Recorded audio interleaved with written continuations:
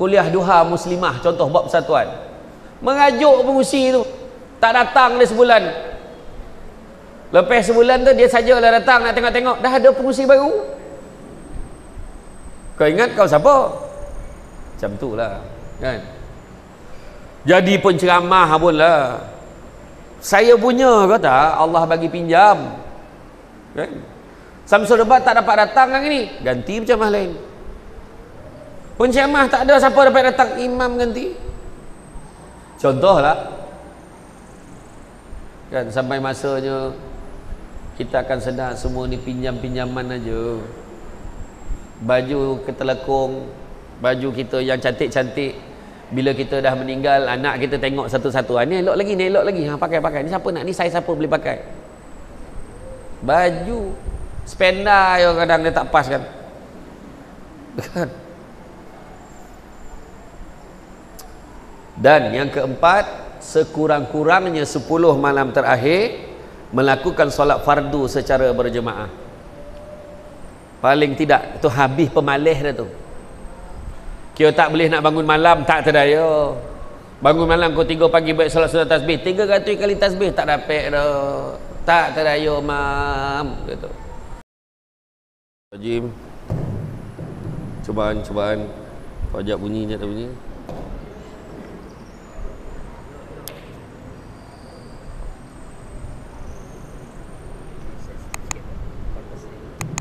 cubaan-cubaan buat ni sikit buat sikit ok mengengado mikrofon ni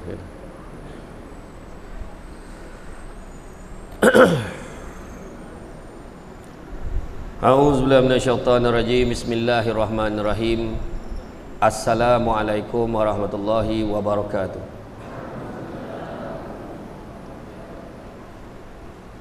Alhamdulillah. Alhamdulillahillazi arsala rasulahu bil huda wa dinil haqqi liyuzhirahu ala dini kullihi walau karihal kafirun walau karihal musyrikun walau karihal muslimun. Subhanaka la ilma lana illa ma 'allamtana innaka antal alimul hakim. Rabbi shrah li sadri wa yassir li amri wa hlul 'uqdatam min lisani yafqahu qawli Alhamdulillah syukur kepada Allah Subhanahu Wa Taala segala puji bagi Allah Tuhan sekalian alam. Salat dan salam ke atas junjungan besar Nabi Muhammad sallallahu alaihi wasallam. Masih banyak diucapkan tuan pengurusi acara, tuan pengurusi masjid, tuan imam, barisan imam, barisan jawatan kuasa, balang penggerak aktiviti masjid, pemimpin-pemimpin tempatan di semua peringkat yang berkesempatan hadir, Seterusnya tuan-tuan dan puan yang dirahmati Allah sekalian. Alhamdulillah syukur sangat-sangat pada petang ini dapat kita bersama dalam program yang tak disangka-sangka dapat juga dibuat ya. Kalau ikutkan tarikh lain, tarikh lain tu tak dapat, ejas-ejas dapat juga ya.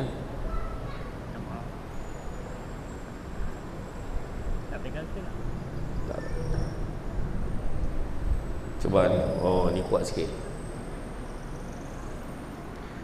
Jadi diam tak diam dapat jugalah ya. Dengan izin Allah kita bersama-sama menganjurkan program pada petang ini.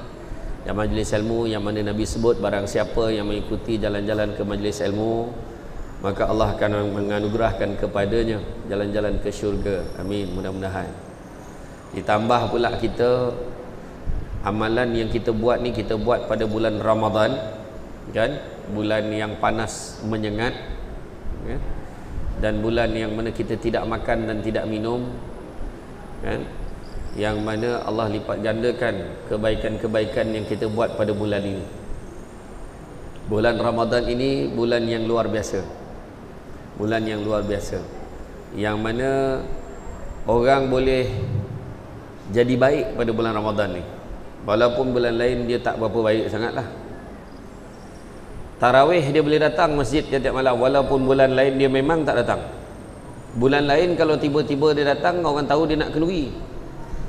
Tapi kalau bulan Ramadan kalau dia datang orang tak terperanjat. Dan bila sebut tentang bulan Ramadan ini juga adalah bulan keajaiban kadang-kadang bulan ni Allah serlahkan apa yang kita nak Allah tunjukkan apa yang tersembunyi kadang-kadang. Allah berikan rezeki yang tidak disangka-sangka pada bulan Ramadan tanpa kita sedar. Cumanya kadang-kadang kita tak melihatnya dengan mata hati kita. Contoh duduk kat rumah tiba-tiba jiran sebelah hantar makanan. Itu rezeki tidak disangka-sangka. Pergi ke masjid saja je nak buka puasa kat masjid malam tu. Tak sangka pula malam tu ada kambing bakar. Contohlah kan hari ini ada orang cakap datang ke masjid. Ada orang dia datang di masjid sebab ada majlis buku puasa dia datang dia tak tahu pula ada Samsul debat. Rupa-rupanya ada Samsul debat. Ya Allah rugi betul kalau aku tak datang dia kata contoh lah macam-macam tuan-tuan dan puan ya. Jadi apakah 10 malam terakhir ni kenapa yang dia heboh nak tajuk tu buat 10 malam terakhir kan? Rupa-rupanya Allah Taala sebut di dalam Al-Quran auzubillahi minasyaitonirrajim. Inna anzalnahu fi lailatul qadr. Wa ma adraka ma lailatul qadr. Lailatul qadri khairum min alfi syahr. Dan kebanyakan imam dah mula baca surah ni dalam solat maghrib dan juga solat isyak. Kan? Yang mana Ayat itu membawa maksud sesungguhnya kami telah menurunkan inna anzalnahu fi lailatul qadr. Kami telah menurunkannya iaitu Al-Quran pada malam kemuliaan. Wa ma adraka ma lailatul qadr dan kamu tahukah apa dia malam Al-Qadar itu? Malam Al-Qadar itu Lailatul Qadr khairum min alfi syahr. Malam Al-Qadar itu malam kemuliaan itu lebih baik daripada seribu bulan surah Al-Qadr ayat 1 hingga 3 Lailah Lailah membawa maksud malam. Lail Lailatul Qadar malam kemuliaan. Al-Qadar pula membawa maksud kemuliaan atau ketetapan. Qadar dan Qadar. Qadar ni ketetapan takdir. Kita tahu. Allah dah tetapkan. Allah dah tetapkan anak kita banyak tu. Mungkin. Allah tetapkan umur anak kita sakat itu aja. Rezeki kita sakat itu Allah sayangkan anak kita. Allah takdirkan orang ni berhubung dengan orang ni berpisah. Lepas tu dia berkahwin pula dengan orang ni. Ex girlfriend dia. Contohnya. Ha, contohlah. Dan ada orang tu nak datang dah program petang ni. Tiba-tiba sakit perut. Ha, pun sama juga. Kan tak dapat datang. Ada orang tu datang dah lepas asar. Tengok tak ada orang pun. Rupanya semalam program tu. Salah tarikh pula contoh macam-macam. kan? Qadar. Para ulama berbeza pandangan bila qadar ini disandarkan kepada malam. Ada ulama berpendapat ianya kemuliaan dan terdapat juga pendapat-pendapat lain. Ibnu Qudamah berpendapat malam qadar ialah malam yang mulia diberkati diagungkan dan mempunyai banyak kelebihan. Dan begitu juga Imam Al-Qurtubi berkata malam qadar mempunyai kelebihan kerana banyaknya keistimewaan dan malam tersebut dibahagikan kebaikan yang banyak yang tidak terdapat seumpamanya pada bulan lain. Dan tidak terdapat seumpamanya ya, tidak dapat seumpamanya pada seribu bulan. Mana dia lebih baik lagi Ramai ulama dan ahli tafsir berpendapat amalan dilakukan malam qadar lebih baik pada seribu bulan yang tiada padanya malam qadar. Sebab malam lain tu jadi malam ni yang baik bulan ni sebab pada bulan lain tak ada malam al-qadar. Ha.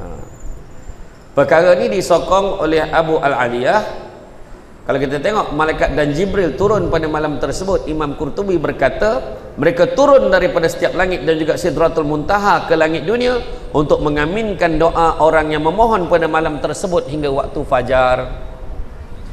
Satu peristiwa yang kita pernah dengar Nabi nak naik ke mimbar tiba-tiba tak semena-mena Nabi sebut amin amin amin. Salah satu daripada doanya Serupa-rupanya kenapa Nabi amin? Sahabat tanya, aku tak dengar pun orang amin, orang boleh doa kau amin tiba-tiba apa halnya? Ini terjemahan. Nabi kata ada tiga doa. Ha, lagi dua tu kena panggil syamah yang lain lah. Satah salah satu doanya maka celakalah orang yang membiarkan Ramadan itu berlalu pergi tanpa dosanya diampunkan oleh Allah Subhanahu Wa Taala maka kena minta ampun banyak-banyak bulan puasa ni. Kan? Ha, kena minta ampun banyak-banyak. Kalau kita tengok lah kan kalau kita tengok bulan Ramadan ni satu doa yang popular yang biasa orang baca Allahumma innaka afuun karim tuhibul afwa fa'fu anna. Kan? Allahumma innaka afuun karim. Kan?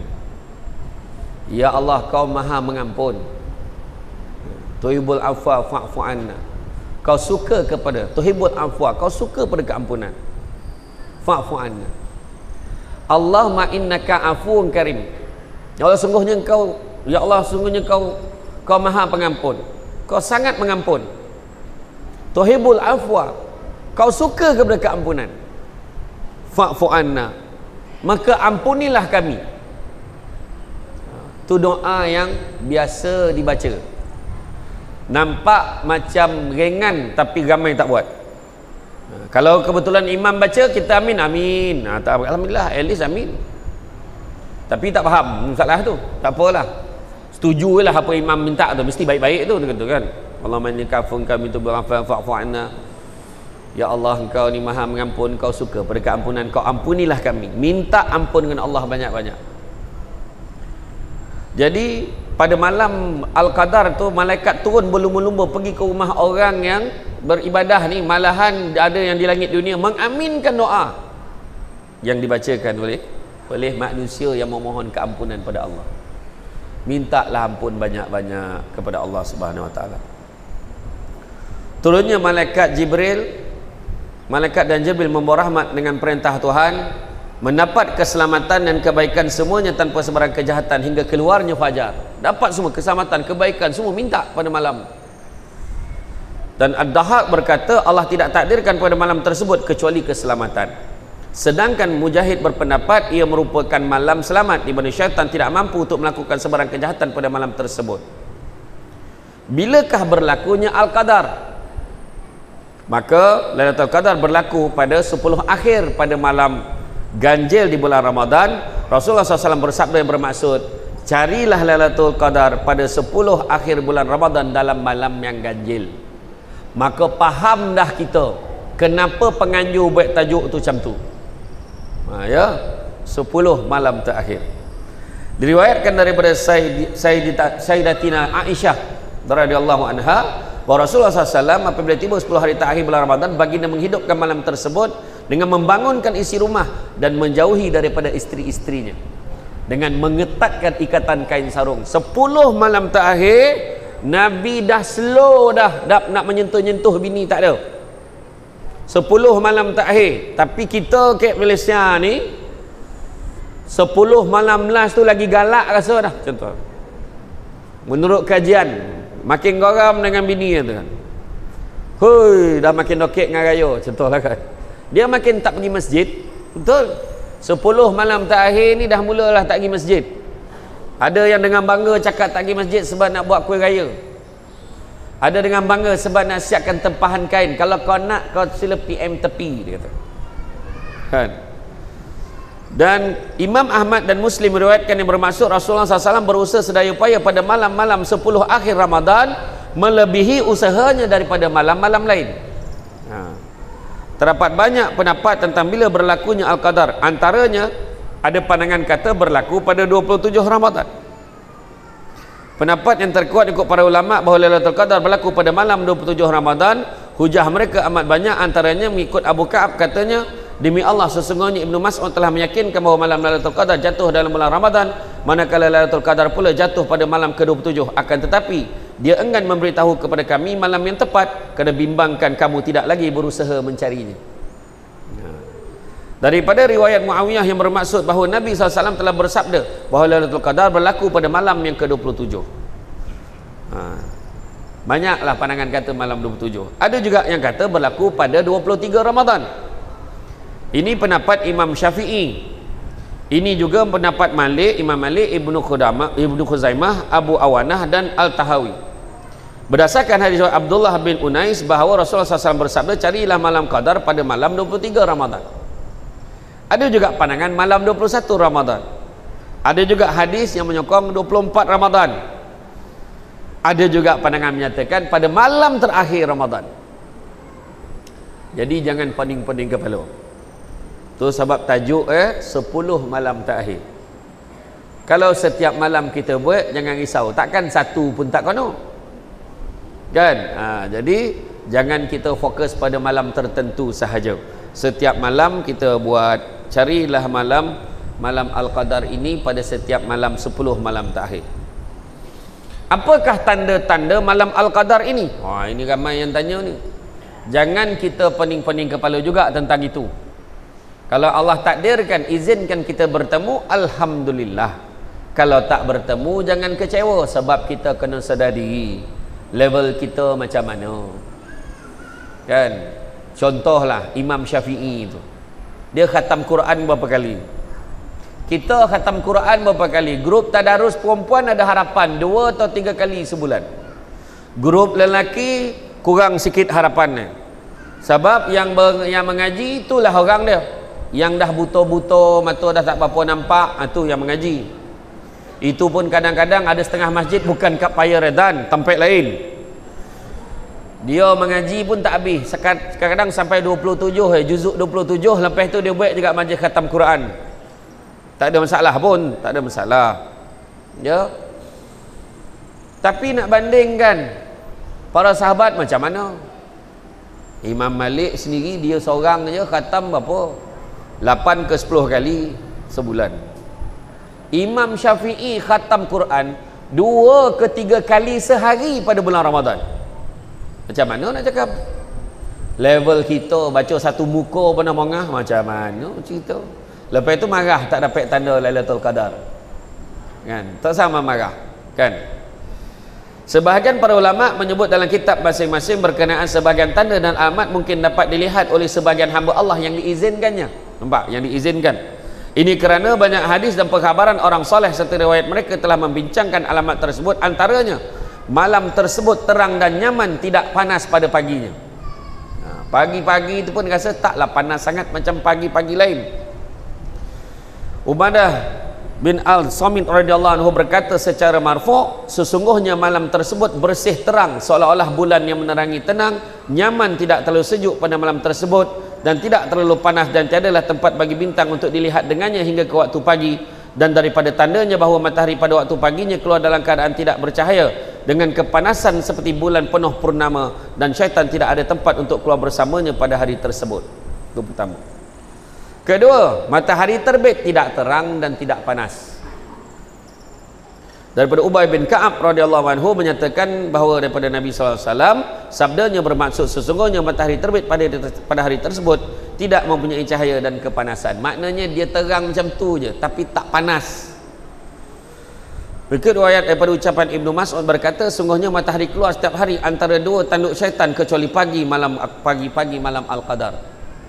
Kalau pagi tu malam tu nanti nak jadi al-qadar, pagi tu dia nampak dia nampak lain sikit ha, berbeza.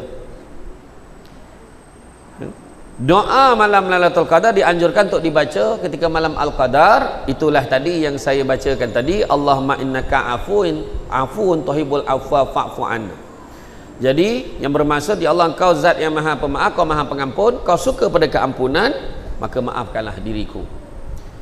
Dari Aisyah radhiyallahu anha Beliau bertanya pada Nabi SAW, Wahai Rasulullah, jika aku menjumpai satu malam yang merupakan malam Al-Qadar, apa yang harus aku ucapkan pada malam itu? Baginda mengucapkan, Baginda menjawab, ucapkanlah Allahumma innaka afun, tuhibbul afwa fa'fu'an. Bacalah doa yang saya beritahu di, awal tadi. Tak pun kau, kau tak dapat bona bahasa Melayu pun tak apa. Cakap Melaka, Ya Allah, kau kau maha mengampun kau suka pada keampunan kau ampunilah aku ya Allah. Ha, boleh tak ada masalah. Bahasa Melayu pun tak ada masalah. Ya? Minta ampun. Yang penting minta. Ya?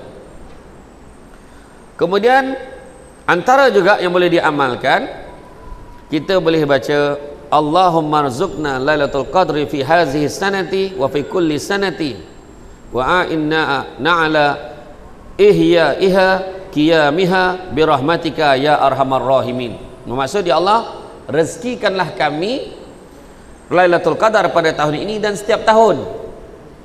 Dan bantulah kami untuk menghidupkan dan membangunkan malamnya dengan rahmatmu. Wahai yang maha pemurah lagi maha penyayang.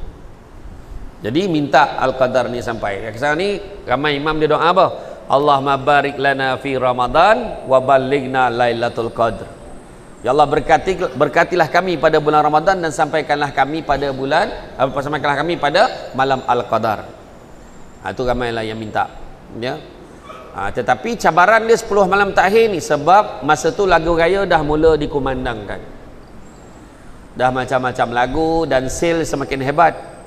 Kuih yang mula asal RM10 satu balang dah jadi RM5 satu balang menjelang lima hari terakhir lagi tahu dia dah jadi sepuluh ringgit lima balang jadi menyebabkan orang dah tak keruan dah ha, kan? Jadi sedangkan kita kena cuba ubah diri kita ni excited tu lebih pada Ramadan berbanding pada Syawal. Ha, tu yang kalau kita tengok ada orang malam raya dia dah tak ada dah. Dia tak duduk rumah dah. Dia dah pergi dah ke pasar-pasar lambak tu. Dia nak tunggu orang lelong barang sampai jadi murah betul Sedangkan malam itu kita malam itu je peluang kita untuk bertakbir sampailah sebelum solat sunat Aidilfitri. Itulah malamnya. Ha, kan? Jadi janganlah kita kita pandang ringan.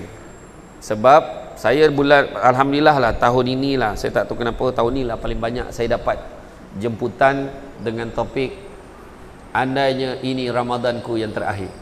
Saya banyak dapat topik tu tahun ni mungkin kesedaran masyarakat semua dah banyak. Sebab nak mengajak kita supaya lebih menekankan Ramadan daripada Syawal. Sepatutnya Ramadan ni yang kita upgrade lebih. Bukannya tak salah bergembira pagi Syawal tak salah. Nabi sendiri pun suruh kita bergembira pagi Syawal. Tetapi bulan Ramadan ni peluang tu kita tak nak ambil. Macam orang lelaki kan selalu saya pesan borderline orang lelaki ni waktu asar itu paling kritikal untuk orang lelaki. Orang perempuan saya tak tegur untuk orang lelaki. Sebab Nabi masuk aja asar Nabi lagi kuat beribadah sebab Nabi sedar. Kejap-kejap lagi dah nak berbuka puasa. Ha, macam sekarang kita dengar ceramah ok lah sebab tak kejap lagi nak buka puasa. At least kita isikan dengan majlis ilmu. Ha, jadi orang lelaki biasa lepas asar dah, dah mula terbayang lah bazar Ramadan mana nak bagi roti john apa nak beli mutabak mana sedap. Air soya power dekat mana. Air bancau bandung campur cincau ke mana nak ambil. Macam-macam lah. Dah terbayang. Tu sebab saya tegur orang lelaki. Orang perempuan saya tak tegur sebab dia bukan lepas asar dia lepas sahur dia dah fikir dah nak makan apa. Jadi tak ditolong lah jadi saya tolong orang lelaki. Kan orang perempuan dia memang kena fikir lepas sahur sebab dia chef dia ketua department dapur tu jadi dia kena decide dah daripada awal malam ni nak makan apa. Lepas sahur dah tanya lelaki tu malam kan nak makan apa? Kan? Ha. maka lakukanlah amal ibadah bersungguh-sungguh tanpa sebarang pengabaian. Isikanlah malam tersebut ha ni dia. Isikanlah malam tersebut dengan amalan-amalan yang boleh menyebabkan kita mempertingkatkan pahala kita antaranya dengan qiyamul lail. Bacaan al-Quran zikrullah munajat dan doa. Terutamanya doa itu doa mendapatkan keampunan dan rahmat daripada Allah. Keampunan ni tahu minta ampun. Tapi rahmat untuk apa? Rahmat untuk apa? Ha, kalau tanya tu biasalah pencamah kalau tanya sudahnya dia jawab sendiri saya ingat saya ceramah dekat satu masjid di Kuala Pilah makcik-makcik datang. Masa tu ceramah maulud.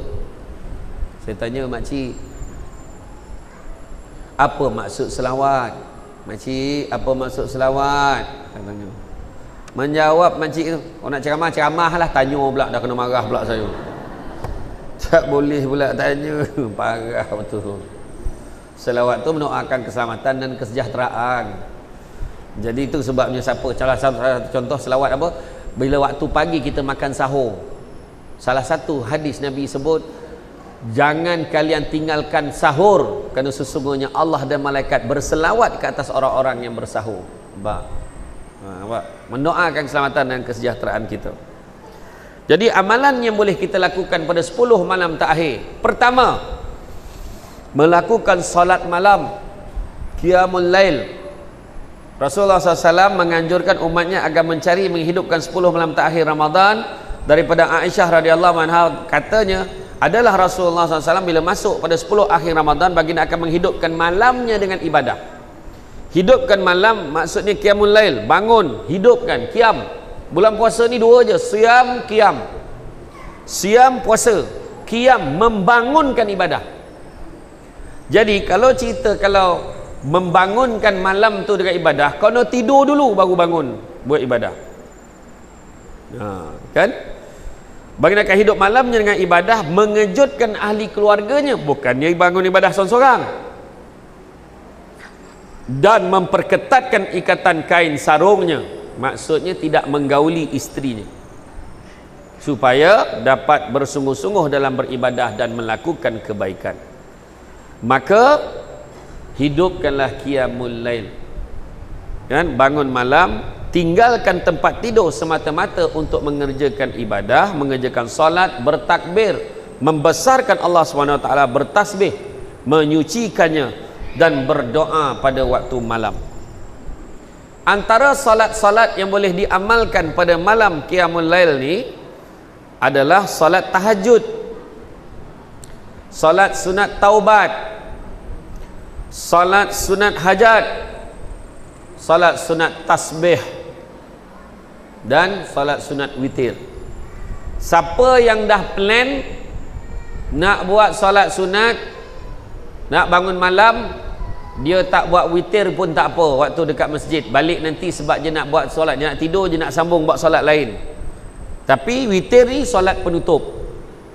Solat sunat tahajud solat sunat taubat solat sunat hajat solat sunat tasbih pun saya tengok orang perempuan rajin buat pada waktu duha. Dia buat grup Allahu Akbar. Baca fatihah lepas fatihah subhanallah alhamdulillah wala ilaha illallah wallahu akbar. 15 kali.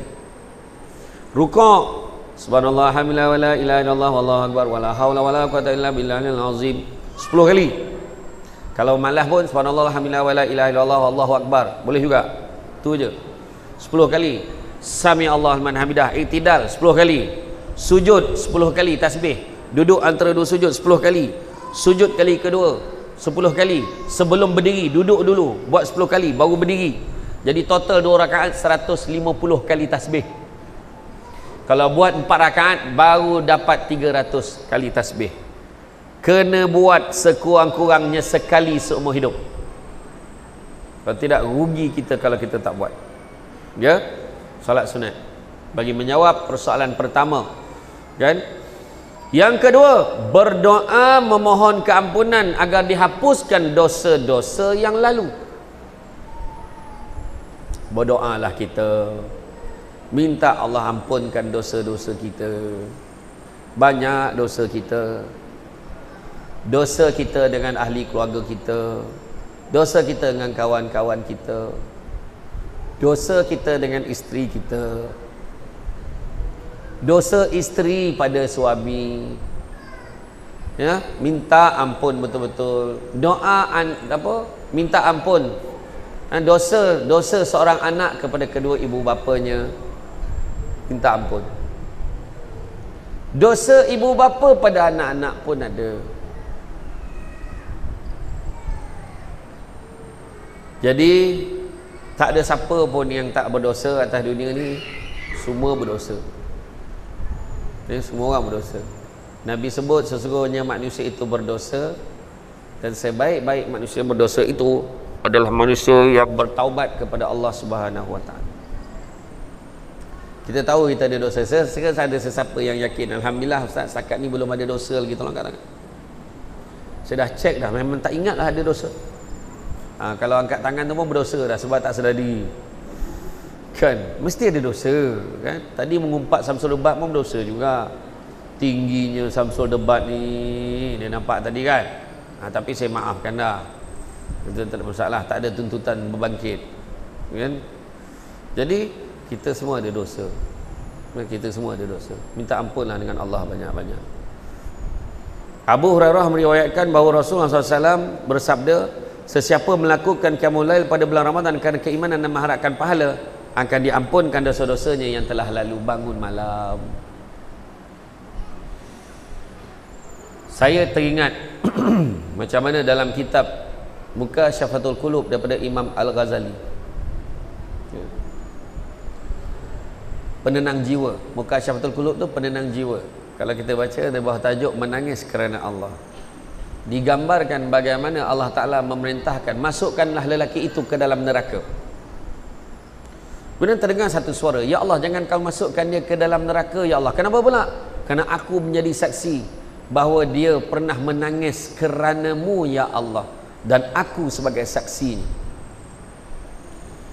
dia menangis kerana Allah yang bercakap tu tengok siapa yang bercakap tu? Rupanya yang bersuara itu adalah sehelai rambut. Waktu lelaki ini di dunia menangis air matanya mengalir terkena pada rambut itu. Dan rambut itulah menjadi saksi. Rambut itulah yang menjadi saksi kepadanya. Jadi masukkanlah dia ke dalam syurga. Jadi ini soalan bocor orang perempuan terutamanya. Berhenti-berhentilah menangis sebab jantan. Sudah-sudahlah. Biarlah menangis kerana Allah. Tu sebab atas dunia ni lelaki perempuan semua kena ingat atas dunia ni kena paksa diri kita menangis kerana Allah. Paksa diri kita menangis. Bila paksa diri kita menangis itulah sebab nak Sayyidina Abu Bakar kata apa? Akhirat nanti seramai-ramainya orang yang menangis sampai keluar air mata darah kerana menyesal. Akhirat besok baru nak nangis. Dan punya banyak air mata darahnya itu kalau letakkan perahu belayar perahu nak tunjukkan banyaknya penyesalan kita hari kiamat besok. Sejajar dengan pepatah peribahasa Melayu menyebut sesal dahulu pendapatan sesal kemudian tidak berguna lagi kan? Nasi sudah menjadi tak ada kalau bubur sadap ali bubur kicap kan? Ada orang memang saja dia jadikan je bubur kan? Nasi tu dah tak boleh makan dah. Dah busuk dah. Hangus koring apa pun tak ada dah. Contohlah rugilah kita. Ya rugi kita. Menangislah kerana Allah. Ya, menangis kerana Allah Hadis riwayat Bukhari dan Muslim. Dalam sebuah hadis marfu' daripada Ibnu Abbas, sesungguhnya pada malam Al-Qadar Allah SWT melihat kepada para hamba-hambanya yang mukmin daripada umat Nabi Muhammad SAW lalu Allah memaafkan mereka dan merahmati mereka kecuali empat golongan iaitu Allah akan ampunkan semua Allah memaafkan mereka dan merahmati mereka semua yang meminta ampun kepada Allah kecuali empat golongan siapa dia? pertama golongan penagih arak tidak akan diampunkan dosanya oleh Allah Subhanahu taala. Dan bila kata arak ni menagih benda-benda yang memabukkan, maka termasuklah dadah. Ha, ya. Kedua, penderhaka kepada ibu bapa pun takkan dapat masuk syurga. Tak akan diampunkan. Kaki pukul. Gamar betul memukul-mukul orang. Banyak betul kes dera Pukul, pukul orang bukan orang saja Bini anak apa dipukul Ada yang bini pukul suami pun ada. Tak Melaka pula tu? Ada juga. Dan Pemutus silaturrahim juga tidak akan masuk syurga Tidak akan diampunkan oleh Allah SWT Jadi oleh itu jangan kita melepaskan peluang ini. Kemudian ada juga doa yang dibacakan Ya, ya Allah aku memohon perlindungan dengan redamu daripada kemarahanmu dan aku berlindung dengan kemaafanmu daripada kemurkaanmu. Hadis riwayat muslim. Jadi ada juga satu doa yang diajar ya Allah dosa-dosaku terlalu banyak tidak terkira ya Allah. Tidak mampu aku sifatkan namun ia terlalu kecil di sisi kemaafanmu maka ampunilah aku. Ha, boleh juga. Melayu tak apa. Ya Allah banyak betul dosa aku ya Allah kau cik bona rasa diri ni ya Allah. Tapi tak ada masalah kat kau ya Allah. Pada kau kau cik bona kemaafan nak bagi kat aku ni ya Allah kau berikanlah pada aku ya Allah. Minta. Jangan sombong-sombong. Tu sebab orang kalau lepas mayang lepas imam bagi salam bakal capuih balik. Eh, orang tu sombong kan Allah? Bagi salam itu balik cabut dia balik cak alif balik Ha, kalau dia alih tadah tangan doa sendiri pun satu hal. Bangun tu balik sakit perut masalahnya. Hari-hari macam tu. Takkan hari-hari sakit perut dia punya timing lepas imam bagi salam. Ha, kan? Ha, ni nak mengingatkan. Begitu juga doa yang lain. Kesalahanku amat besar. Dan keampunanmu amat banyak. Kumpulkanlah antara kesalahan-kesalahanku dan kemaafanmu wahai yang maha mulia.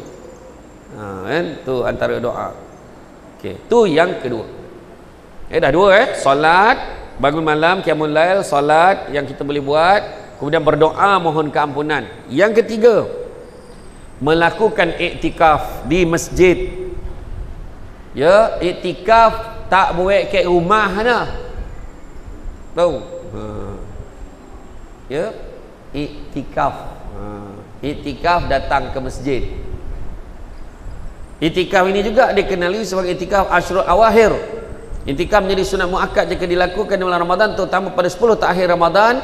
Pada hari-hari tersebut Rasulullah SAW mengajak isteri dan keluarga serta para sahabat baginda menghidupkan malam dan mengisi dengan pelbagai kegiatan ibadah yang menunjukkan takarrub mendekatkan diri pada Allah Subhanahu Wa Taala.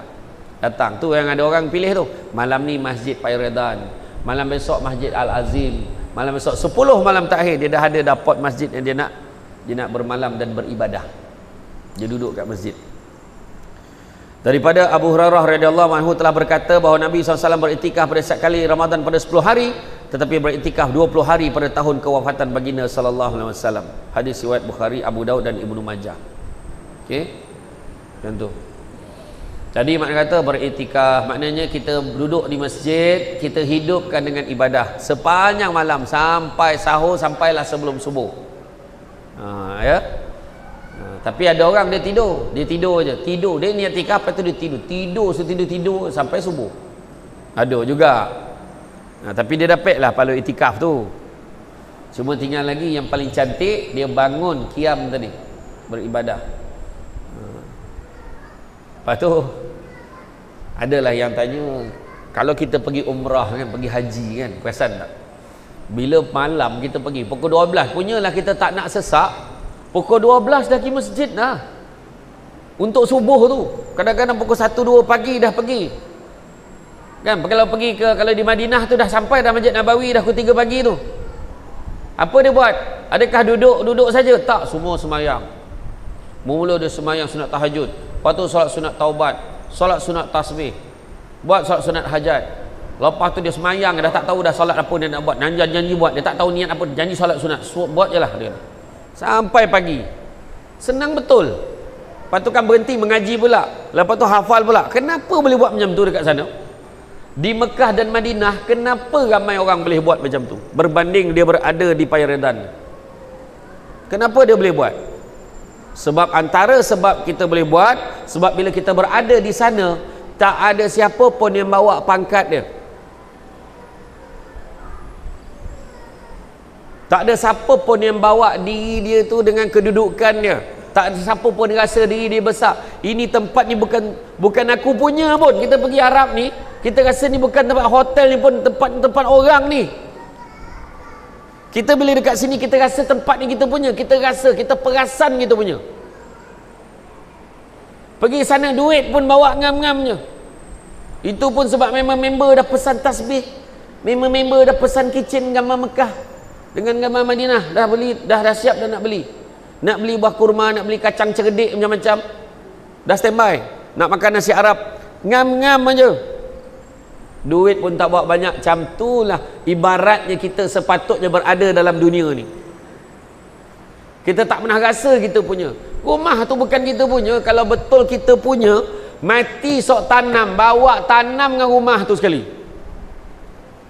Tak ada orang gila buat macam tu tuan-tuan tak ada dah. Kahwin bini muda, lawa bini tu, tanaman bini-bini tu sekali. Tak dapat dah. Bini tak sampai sebulan dah cek lain. Dah jumpa dah kawan-kawan lama dia yang memahami akan keseorangannya itu. Iya tuan-tuan. Ada seorang perempuan ni belum pun bercerai dengan suaminya. Dah habis dah tapi dia dah macam dah berbunga-bunga macam bergaduh dengan suami dia dah ada dah orang datang.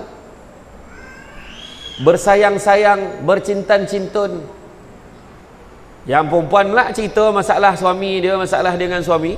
Yang lelaki ni kononnya caring sangat. Mulalah bersayang-sayang mulalah bercinta-cinta. Macam-macam lah yang dikongsikan kan? Ha, jadi macam mana nak buat tuan-tuan kan? Ha, kita perasan macam kita punya dunia ni. Tak. Dunia ni kesenangan yang memperdayakan. Jawatan kalau betul kita punya. Tu jawatan aku tu. Siapa cakap? Kalau nak uji senang je. Buat surat letak jawatan. Tengok ada ganti ke tak? Ada ganti. Sebabkan dia letak jawatan tak ada siapa dah lah. Habis dah jawatan tu dengan dia dia sekali habis. Tak. Ada ganti sebagai bukti cuba tengok. Satu kali tu dekat ada sebuah negara tu tiga kali Perdana Menteri bertukar. Dalam satu penggal. Nak cakap apa? Siapa punya jawatan cakap. Jadi pegawai daerah ke jadi pegawai masjid ke tak kisahlah apa jawatan. Ketua lorong lagi lah bukan ketua kampung ketua lorong. Kan ketua persatuan muslimah. Kuliah duha muslimah contoh buat persatuan. Mengajuk pengusi tu. Tak datang dia sebulan. Lepas sebulan tu dia sajalah datang nak tengok-tengok. Dah ada pengusi baru. Kau ingat kau siapa? Macam tu lah kan? Jadi penceramah pun lah. Saya punya ke tak? Allah bagi pinjam. Kan? Samsul Debat tak dapat datang hari ni. Ganti penceramah lain penceramah tak ada siapa dapat datang imam ganti. Contoh lah kan sampai masanya kita akan sedar semua ni pinjam-pinjaman aja. Baju ketelekung baju kita yang cantik-cantik. Bila kita dah meninggal anak kita tengok satu-satu. Ah, ni elok lagi ni elok lagi. Ha pakai pakai. Ni siapa nak? Ni saya siapa boleh pakai? Baju spenda yang kadang dia tak pas kan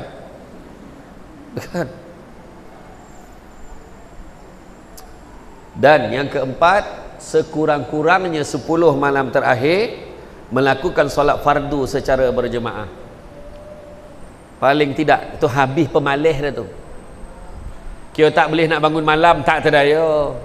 Bangun malam kau tiga pagi baik solat sunat tasbih. Tiga ratus kali tasbih tak dapat dah. Tak terdaya mam. Gitu. Mengaji buta tak nampak. Gitu. Apa pun tak boleh sedekah. Duit tak ada. Tunggu sedekah orang. Dia kata. Contohlah. Tak dapat dah semua tak dapat. Paling tidak jaga solat fardu secara berjemaah. Sebagian ulama mazhab syafi'i menukilkan riwayat daripada Ibnu Abbas radhiyallahu anhu radhiyallahu anhu bahawa menghidupkan malam al-qadar akan terhasil bila seseorang mendirikan solat isyak secara berjemaah dan berazam untuk melakukan solat subuh secara berjemaah pula kan? Imam Malik merekodkan meriwayatkan dalam Al-Muwatta bahawa Imam Ibnu Al-Musayyib berkata sesiapa yang bertemu dengan Lailatul Qadar bermaksud yang mendirikan solat dalam berjemaah pada malam tersebut maka dia akan memperoleh kebaikan malam itu. Begitu juga lah yang dikatakan oleh Imam Ash-Syafi'i rahimahullah dalam pendapat lamanya sesiapa mendirikan solat isyak dan subuh pada malam Lailatul Qadar maka dia akan memperoleh kebaikannya. Jadi malam 10 malam terakhir habis pemalih betul kan nah, mengaku tak pemalih cakap sebenarnya memang umat akhir zaman ni adalah umat yang paling pemalas sekali berbanding umat-umat lain. Uh, ni tu orang cakap ni. Ingat tak peristiwa Isra wal Mi'raj? Ingat tak? Waktu Nabi, Nabi kita naik satu tangga, satu tangga, satu tangga, bertemu. Salah satu ni jumpa dengan Nabi Ibrahim Khalilullah. Apa kata Nabi Ibrahim AS? Wahai Muhammad, tak pernah lagi aku tengok umat yang paling masakin sekali umat kau lah I've never been able to see before this the umat the very poor you know oh macam tu lah cakap umat ke and your umat is very poor. Oh. umat kau lah paling miskin sekali. Kenapa? Umur dah lah tak panjang. Pemalas pula beribadah katanya setuju? Mengaku tak mengaku cakap? Bukan cakap tuan-tuan dan perempuan termasuk yang bercakap ni. Cuba kalau kita buat tarawih. Imam tu doa panjang sikit belakang dah hilang lah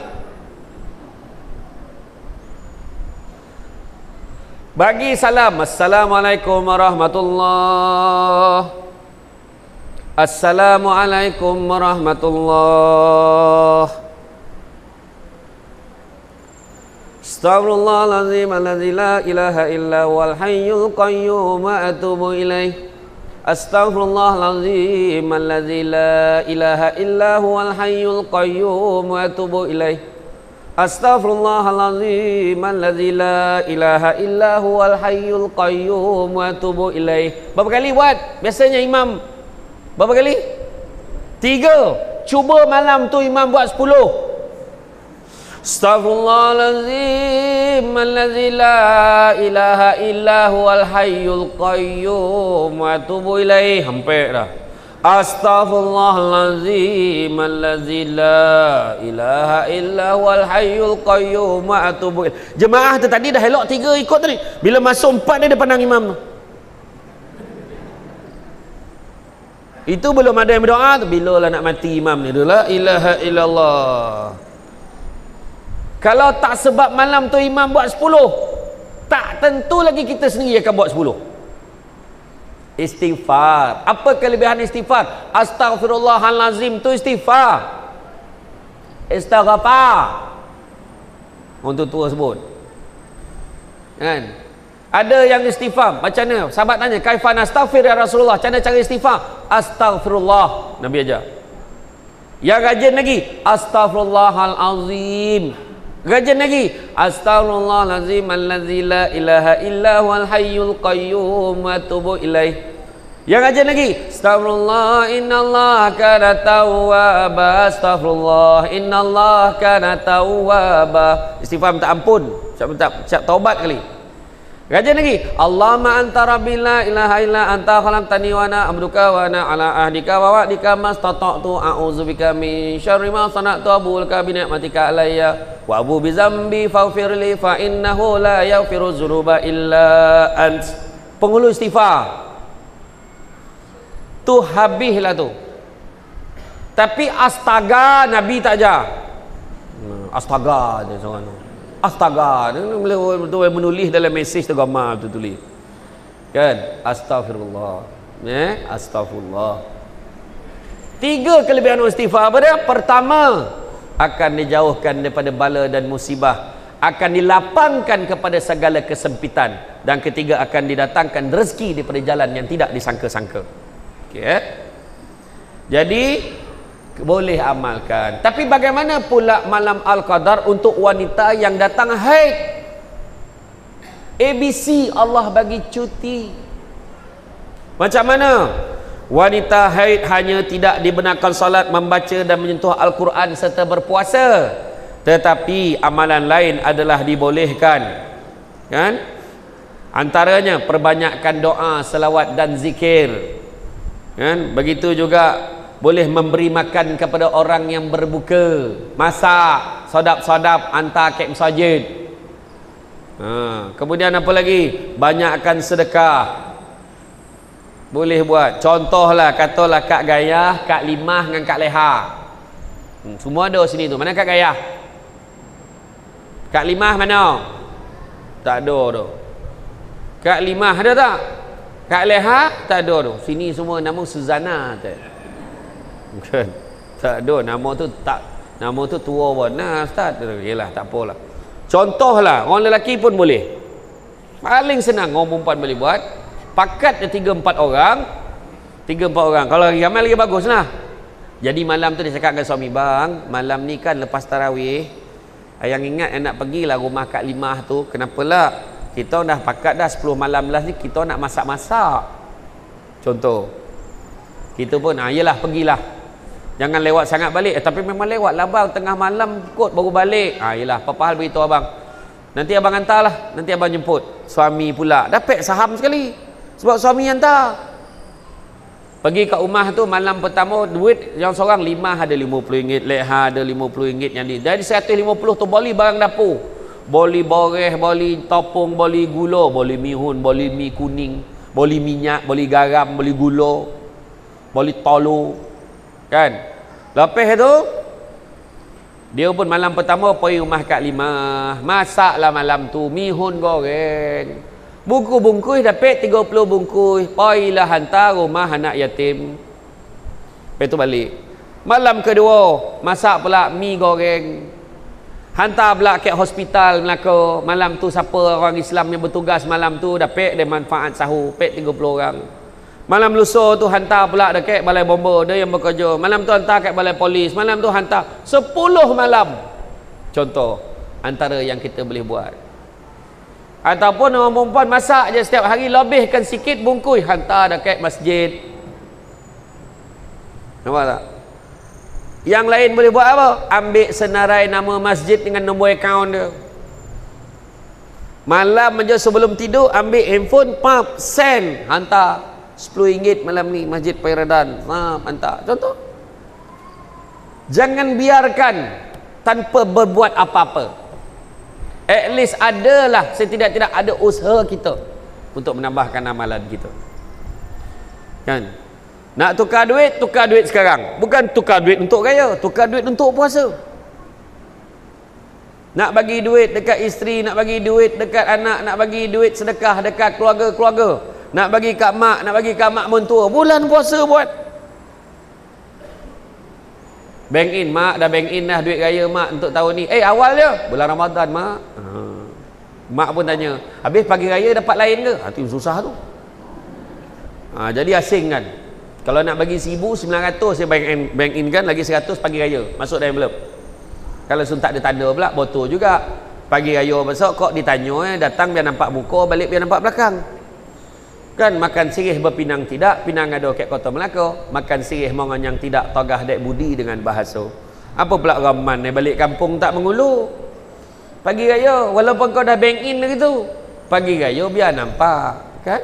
kalau mencari pokok berbuah pucuk elobek dahan berdaun kalau nak jadi insan bertuah duduknya beradab togak eh bersantun macam tu barulah betul kan ha, macam tu jadi tidak ada nikmat yang lebih besar selain pada nikmat nikmat keampunan Allah SWT yang kita harapkan selaku hambanya di muka bumi ini untuk meraih ganjaran syurga dijanjikannya pada hari akhirat kelak. Oleh itu marilah kita berusaha pada 10 malam terakhir ini untuk beribadah, untuk beribadah dengan bersungguh-sungguh. Ya? Jadi 10 malam terakhir jangan kita lepaskan paling tidak buat benda-benda baik. Dan sebelum minta ampun dengan Allah jangan lupa untuk minta maaf juga sesama kita. Orang perempuan minta ampun dengan suami. Wah, kan ada orang lelaki ada orang perempuan komen habis kalau lelaki berdosa dengan isteri? Ya. Susahlah banyak cerita. Bila orang sebut orang perempuan tu orang lelaki ni payah orang perempuan senang masuk syurga. Minta maaf aja. Abang minta maaf banyak tau kalau sebab salah ni hari ni dan sebelum-sebelum ni yalah abang pun sama minta maaf jangan lelaki belagak pula bahawa kau tahu aku siapa jangan macam tu tau kita cakap yalah abang pun sama abang pun buat salah juga minta ampun Jangan dijamakkan dosa tu setahun pagi raya baru kau nak cakap. Tu yang melulung-lulung tak apa benda yang dicakap itu. Pagi raya apa? tak apa dicakap pun tak tahu. Aku ampunkanlah dosa kau. Tak apa benda eh, kan? Tak tahu. Kan? Jadi makna kata dan minta ampun. Kalau ada mak ayah kita pun minta maaf pada kedua ibu bapa kita. Kan? Sebab kadang-kadang doa kita ni terhalang disebabkan oleh tersangkutnya masalah kita yang belum selesai sesama manusia itu sebabnya nak minta maaf ni simple aja saya selalu sebut perkara yang paling mulia di sisi Allah tapi susah nak buat ada dua perkara minta maaf dan memaafkan susah dua-dua susah tapi dua-dua tu mulia di sisi Allah Kalaulah ada dua orang bergaduh, minta maaf. Yang seorang tu tak nak maafkan. Yang tak nak maaf, yang tu tak selesai dengan Allah. Kita salam ni, aku minta maaf ya. Aku minta maaf, salah silap, apa semua. Aku buat salah dengan kau, aku minta maaf tau. Yang kawan pula, yelah aku maafkan. Tapi dalam hati dia tak maafkan, maka tak selesai dengan Allah. orang minta maaf ikhlas tadi selesai. Jangan kira salah siapa tak salah siapa satu. Jangan kira siapa muda siapa tua. Jangan kira siapa pak saudara siapa anak buah. Minta maaf kita minta maaf dulu. Sebab tak tahu siapa mati dulu. Ha.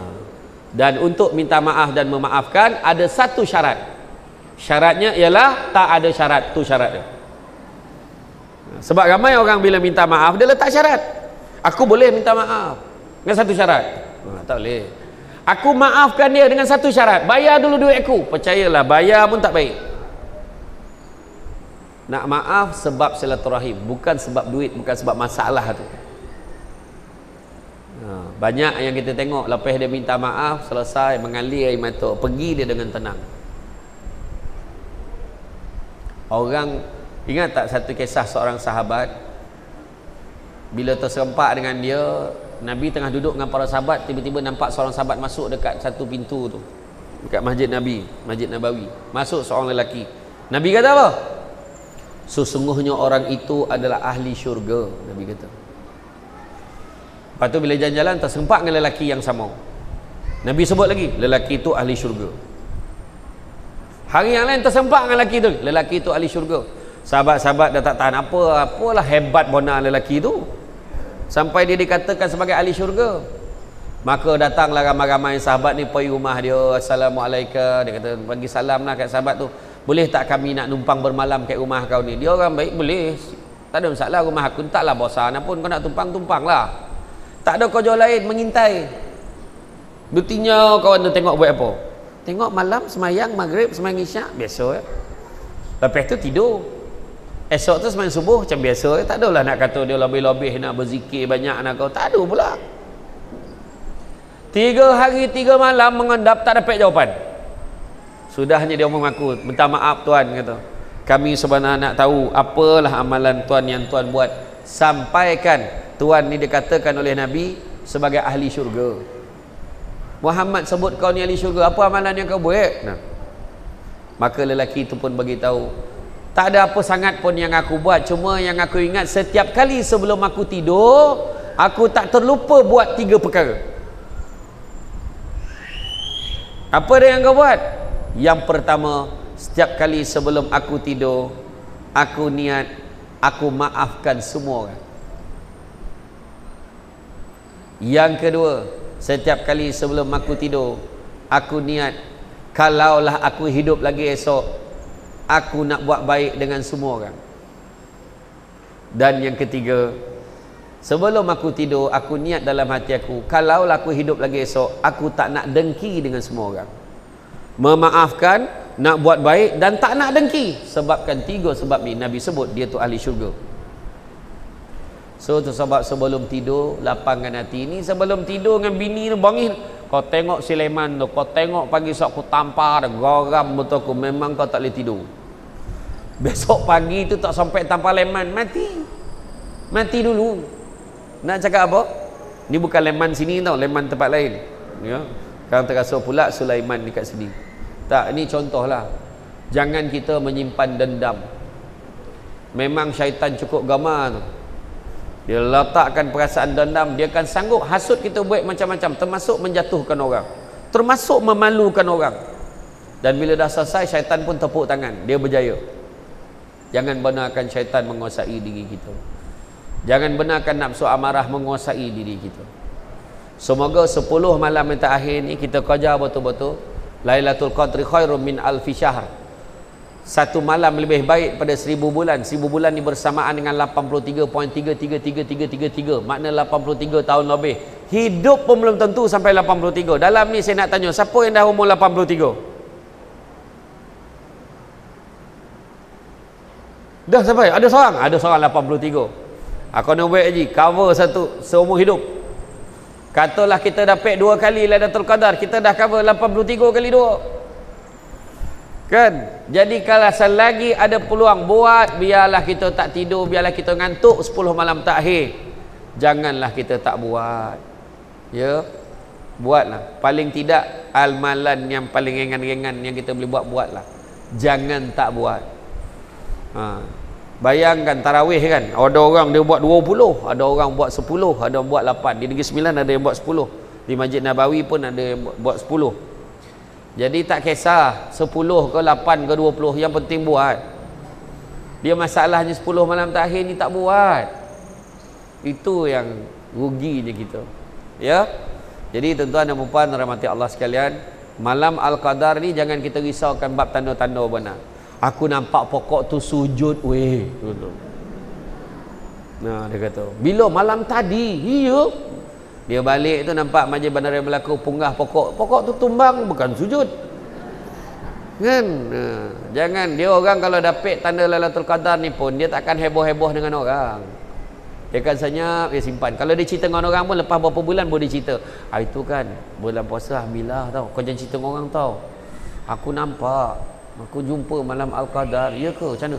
Malam tu rasa lain sangat. Tu aku nampak. Ha, dekat bulan bintang tu lain sangat. Macam mana lah lain tu? Dia yang tahu. Ha, jadi bukan semua orang direzekikan. Jadi tak usah pening kepala saya kata tadi. Buat je amal ibadah pada 10 malam yang ter terakhir. Jadi tuan-tuan dan puan-puan sekalian rasanya cukuplah sekadar itu. Saya diberikan masa sebelum 6.45 berhenti. Ya, pergi pun lepas ni ada lagi acara-acara lain dan saya sendiri pun ada urusan lain juga yang nak dikejar program saya banyak betul